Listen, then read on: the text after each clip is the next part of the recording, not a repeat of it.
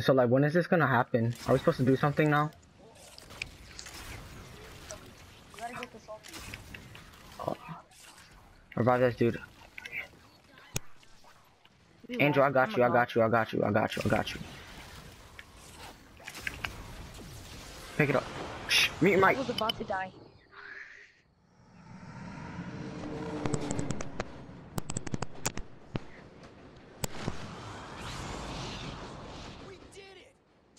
Exactly. We're still not back in the damn theater. Where the hell are we now?